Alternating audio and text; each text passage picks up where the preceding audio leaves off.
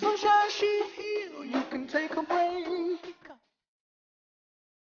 I'm a hot air balloon that could go to space. With the air, like I don't care, baby, by the way. Huh.